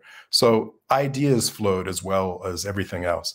Uh, so the historiography is being challenged, and the challenge comes from the ground truthing, and that feeds into the preservation um, uh, of how how questions of preservation of the historic site. Again, currently the the focus had been uh, traditionally on the big house, preservation of the big house, restoring it to its state back in the 1820s. Um, but with this new knowledge, the opportunity now exists to uh, shift that focus, or at least to add to it the preservation of these irrigation gullies that still run clear to this day. And it's really they're, they're, this is not something that that visitors, that the public today um, are are aware of, and they're not shown. But this will change um, because of the the the disputed knowledge and the ground truthing. And then really what the MDC has has as uh, the Montpelier Descendants Committee has taken upon itself as its mission is if you're going to uh, if if you desire if your aspiration is to change kind of both the historiography the preservation you need the power to do that uh, currently there is you know the the museums such as Montpelier are dominated by um, you know very people who look like Madison, the boards uh, who make all the decision. These are actual decision making uh, uh, questions, and that relates to power structures. And these power structures to this day reflect hierarchical uh, power arrangements that were very much um, the, the, very similar to what existed back in Madison's day. And so with this with this new knowledge, the MDC took upon itself to um, to institute what we call um, uh, structural parity. Structural parity is a uh, is an idea where uh, whereby the descendants of these slaves are viewed as the ethical clients, the the the people who could be harmed, uh, the representatives of their ancestors of the ancestors who could be harmed by distortions of the of the presentation of the interpretation of history, and so um, structural parity allowed us to have the uh, after after we negotiated it you know, after a two-year, very intense struggle with this board, uh, lots of resistance, it allows us to name up to 50% of the board. Typically, though, what happens is, you know, there you you you kind of go from all white boards to boards where, you know, the term in in in in in the rubric, which is the the scholarship around this, is kind of tokenism boards, where you have one or two people who are um, who essentially don't challenge the status quo. But with structural parity, what we are doing is going to, we're going to achieve a true uh, diversity, true equal power uh, on the board. Um, the way that we look at the power arrangement is that it's not enough, you know, with apologies to the to to to the Hamilton fans, it's not enough to be in the room where it happened, but you have to have an equal seat at the table. And, and so for you to change the way that the historiography and the preservation and the historic plantation are, are, are done, you need equal power. And that is what we uh, uh, realized very soon after we formed this organization. And that's what we are committed to. We obtained a, um, a change in June 2016 in the, in the bylaws, but since then, we are now facing a very severe backlash to its implementation. So we'll see how this goes. Um, so th that change in the power structure then allows us to uh, affect how public history is presented. And public history is really important. Uh, and, you know, the example uh, being that today the public kind of comes and sees the big house and, and in the basement, you have uh, an exhibit called Mere Distinction of Color, which, you know, literally is in the basement, which talks about slavery. It's an award-winning uh, uh, ex exhibition. It's worth seeing if you haven't been there. It's a very good one. But again, it's in the basement, and and so um, that that really needs to be changed. And what we are doing is we're saying no. You know, the arc of enslaved communities um, is is the gold standard of a public history uh, uh, platform so that we can look at the landscape, not just the house, not just the 2,700 acres, but the ecosystem in which Montpelier existed as a landscape. And that landscape was, um, in the founding era, the most densely populated uh, area of the early United States of enslaved people. That's where the wealth came from. That's where the power uh, came from. So, and once that public history is um, is um, is is is changed, that orthodoxy is changed, that creates a new demand that feeds back into more archaeology. So that's kind of what we're trying to do. So we, we feel that this is a very important uh, uh, challenge of our orthodoxy because it will create new demand for the science and uh, it will um, feed back into uh, shifting power uh, arrangements. Um, and that's it. And I'd like to thank you very much. Great. Thank you. Thank you so much, um, Matthew and James and Anne. Um, and uh, I want to uh, just thank you for those incredible uh, um, present presentations. I learned so much. I have so many scribbles here and so many points of connection across the uh, presentations.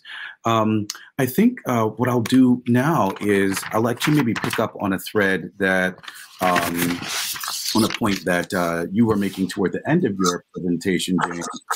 Well, welcome back, Anne. Um, Thank you actually, I will um, I will start with another question, a question that allows us to think across the presentations, uh, which were again brilliant. Um, a theme or trope that came up um, that I was fascinated by is that both of your or all three of your presentations uh, gave us a way to think about reading landscape. Um, or what you called and um, reading the earth, right? Um, but doing it from different perspectives, from different um, sort of scales and geographies of power. Um, and it seemed to me that one of the um, uh, uh, sort of the central goals, right, of uh, having a conversation of reading the landscape. I think, uh, and you you you said that Miss Ellie could read the landscape or read the earth like a book. Uh, that one of the goals of that, right, is to um, do what uh, James and Matthew said, which is to recognize the intellectual contributions of enslaved Africans, right? Um, and so I'm wondering if you can talk to us um, about the ways that you are thinking about reading landscapes uh, methodologically um, and um, also as a mode of like uh, of of an alternative um, uh, knowledge production, uh, right? Uh, of telling the story of these locales, of these spaces uh, from the invisible founders, I believe is the term that you use, James. So I'd love to hear you all talk about the significance of reading landscapes.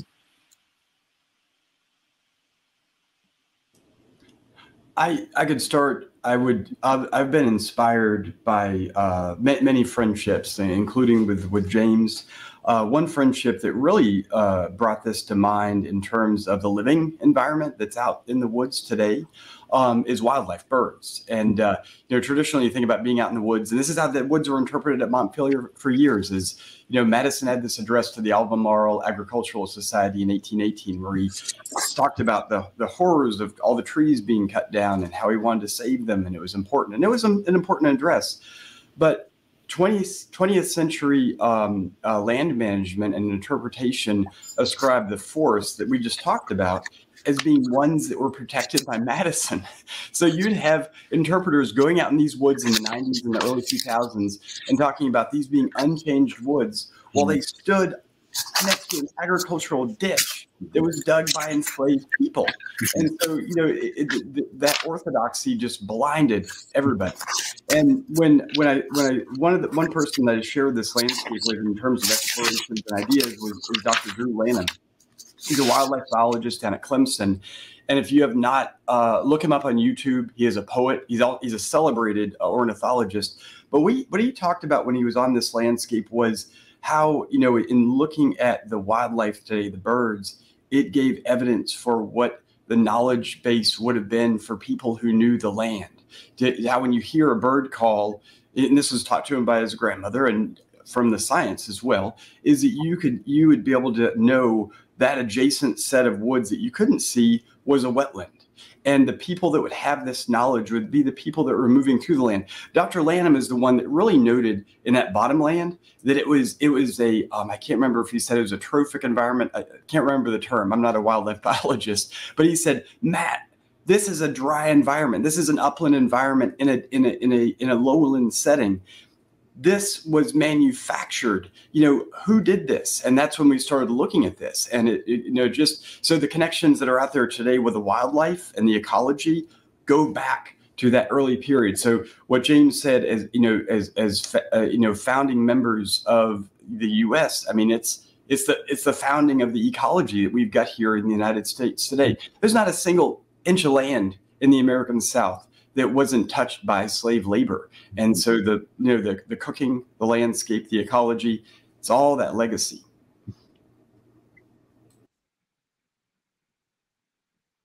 of reading the land i that's a quote from um, i love that quote and now i'll have more time to explore it but um, one of the things that none of us had a chance to touch on is the fact of the shared um, shared relationship to the earth among Europeans, Native Americans, and um, African people of African descent.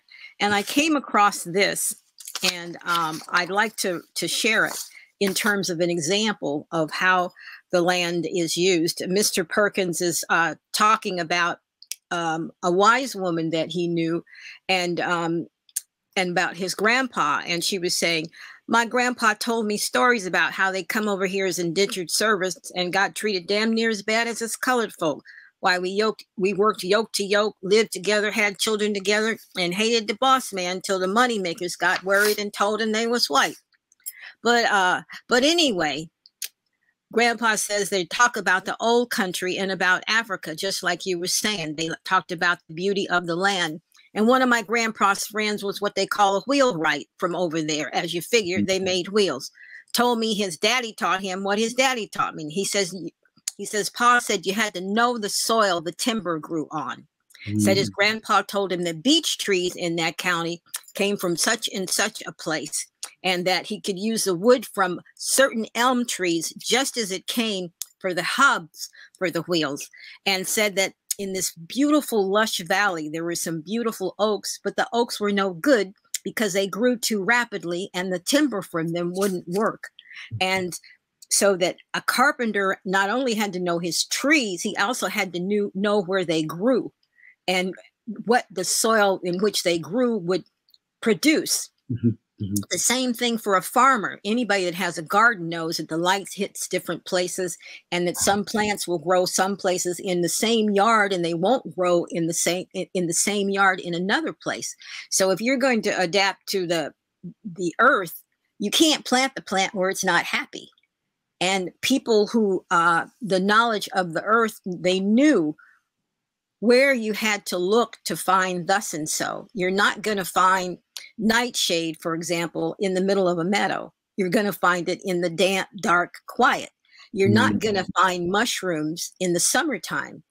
You have to go mushroom hunting at the right season. Service berries come for about three weeks at one time in the year. The same with pawpaw seeds. They come for two weeks in the year. And if you don't get them then, you won't get them. So this knowledge of looking at, for example, a pawpaw tree and knowing when, how close they are to ripening, or service berries is stuff that people learned and passed on. When they made elixirs and, and cures and such, the ingredients were held. Miss Ellie wouldn't tell you her ingredients. Mm. She simply would not. But she knew where to get them. There's one story about a woman who dyed fabric, and um, she said, Miss Rachel, knew those woods well enough. If you looked at her her yard, her cotton and her wool, she had every color in the rainbow: green, yellow, blue, red, pink, because she and they were all from natural dyes, which mm. meant that she knew what tree, what plant, when, and what of it to pick. Um, pokeberries, the roots will kill you, but the berries you can eat hominy you uh, coffee, kentucky coffee bean trees have four or five different uses. You can eat hominy you can also use it to starch clothes you can also use it to bleach.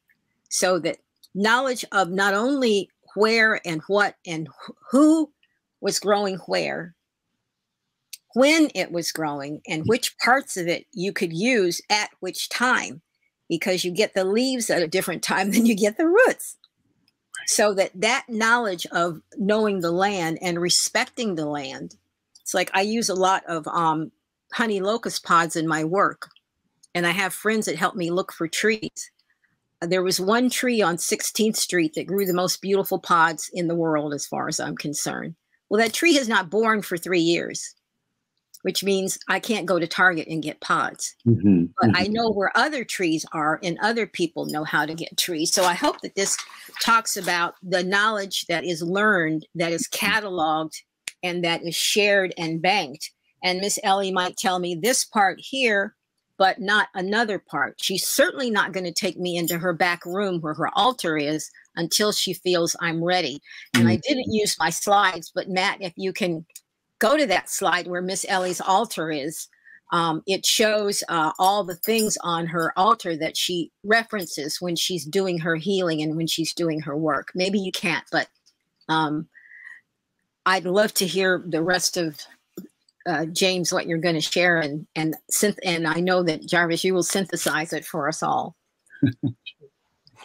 Thanks. Um, I, I was simply going to add that um, the lands you asked about landscapes and why, why why they are important, Jarvis. And I and I think for me, what's really important is this the central tension in the landscape. So you have this the land you have power structures and property boundaries that contend with the the the creeks and rivers and the the the, the soil structures, the uplands and the and the lowlands, and that tension you still feel and it really it it it it reflects property arrangements and power arrangements that go all the way back to the very beginning of this of this country and prior to that property in men property in land, um, which essentially scar the landscape. And they really do, in a sense, because the landscape is, again, this rich uh, Davidson clay loam, which is some of the most fertile land anywhere on the planet.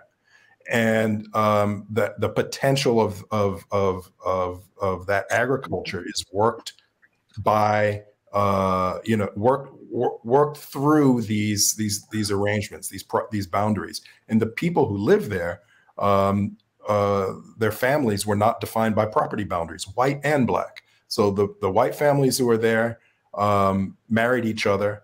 The black families who were there married each other across those boundaries the families were formed in very different circumstances obviously and having access to the landscape was a real privilege not in the sense that we say it today, but it, it's to be able to access and to leverage the, the, the wealth of that landscape allowed you to amplify your own wealth. So what we're trying to do with the MDC actually is to design a trail that will allow people to to to kind of um, navigate across prop still existing property boundaries today across property boundaries um, and it's, so it, it's, a design uh, exercise. It's an exercise also in conservation um, and and and and, and just uh, historial historiography to bring people back to understand how the history uh, uh, worked and how people created wealth and power in that early era. Thank you, thank you, thank you, uh, uh, James. Your uh, comment actually reminds me of uh, it made me think about something else that I've been grappling with uh, in my own work, but more generally, um, I think is a tension that comes up in studies of the plantation of slavery, of the Plantationocene, um, is a term that folks may be familiar with, a newer um, uh, a way to put a kind of finer point on the Anthropocene, uh, right? And thinking about the way that the plantation was and um, a modality of ecological degradation and devastation, right? Um, and so one of the one of the tensions that I've been wrestling with uh, in my own work as it relates to um, um, enslaved Africans and their descendants is, uh, and I and I hear it in you all's presentations uh, as well, is this tension between the fact that you know, I, I was so moved by the conclusion of your presentation, Ms. Bowie, um, where you were talking about love of the land, right? We took care of each other, right? And a kind of mutuality between Black people and land. Uh, at the same time, these were people who were who were coerced, right, to um, uh, to um, uh, farm the land, right, and to engage in monocropping, and were coerced to, you know, participate in global capitalist um, um, a degradation of the land. So I'm just curious if you all can talk to us a little bit about that tension um, as you are, you know. Um, uh, recovering the intellectual contributions of enslaved Africans and demonstrating the ways that you know uh, they are, you know, uh, I believe uh, Matthew, you uh, mentioned uh, irrigation gullies and and so forth, and so the way that they actually changed the landscape, uh, but also uh, the reality that you know that was a coercive uh, practice, right? Even if it was their own knowledge, right, from agricultural practices in Africa, um, and, and, the fact that um, there was also this other relationship to it. There was a deep love for the land um, and growing food and watching things grow. One potential answer comes from a letter from Dolley Madison to her niece, and she's talking about how her personal uh, slave um, is stealing from her, and she wants to sell her, but she can't because this personal slave knows everything that Dolley needs. Mm. So, being an enslaved individual who knows how to work this land how to do the the the the, the, the agriculture, the horticulture, everything that you know, and Dr. Bowie was talking about, um, you're going to become invaluable to the plantation. And so when it comes time to sell mm-hmm. people, if if it's a choice between selling someone who is a is a physical laborer and someone who holds the knowledge, and without that knowledge, there's no way to work the land. You know who's going to be chosen. So there's there's a there's a protection, and this is where you know in so many cases. Um, where enslaved individuals had have had the the, the uh, voice in the main house, they would try to get their children to become in, learn the trades of blacksmithing and other trades where it would make them too valuable to be sold. You mm-hmm. couldn't get that money back. when when that person was sold? Because that knowledge base would be gone. You know, um, there are a couple of. Uh, th- I'm so glad we raised the whole notion of the blacksmiths because Mr. Perkins was a blacksmith and his grandfather was a blacksmith. But I often think about that land degradation when, especially with the tobacco crop, mm-hmm, because mm-hmm. tobacco is one of the worst crops for the land of mm-hmm. almost any crop to be grown, and it depletes literally sucks the life out of the land in five years. Mm. But what you do is you go get another plot. And I often think about the people having to work that tobacco land who knew how to take care of it and who knew how to make sure that let it lie fallow for a year or nourish it with the right kinds of composting bins that they had on their um, in their cabin yards, but mm-hmm. we're not able to do that because of the urge to make money. Right. And it's easier to destroy the land and go make another batch and let nature take its course than it is to um, uh, take care of the land, the land secondary. And uh, the same with blacksmiths and the hoe. Uh, I learned so much about hoeing, and I've always known that hoes are special. Everyone has their own hoe, and I have a hoe. And when I go, I to the uh, hardware store, I do test it in terms of my my height. How heavy is it? Can I hold it properly? And um, blacksmiths in uh, Africa uh, have a long tradition of making tools and weapons, obviously. And it's very well noted that when uh, Europeans came to, um, they didn't know how to grow tobacco. They didn't know how to grow any of this stuff. They were initially dependent on Indians as to how to raise tobacco, on Native Americans as to how to raise tobacco and how to plant it. And the hoe was a quintessential tool in Africa. And the whole metallurgy process was one of the blacks was made the blacksmith a shaman essentially in his village and in his community and that transferred over here too. Blacksmiths were set aside. They worked with land, fire, water, and air, all four elements. Mm. And they synthesized these elements and created something new. And it was a process that was considered um, akin to a woman bearing birth. And the furnace that they smelt the iron in was akin to, uh, was seen as a woman's body, as a womb. And that's where you made the iron. And so that iron was really not merely something posed. First, you had to smelt it, which means first you had to find the ore, which meant you need to know where the ore was. And then you had to smelt it. And there were all kinds of rituals and ceremonies around the smelting process to make sure that you got a good bloom that the blacksmith could use. And that's one of the things that is intangible that uh, in terms of teasing out what we have to what we have to say is that we know based on Native American, based on European practices of blessing the soil, of sacred wells. The well at Glastonbury is sacred to this day. Uh, uh, and the rituals around planting. Uh, we we know that enslaved people and vernacular folk from Europe and Native Americans had rituals around everything they did.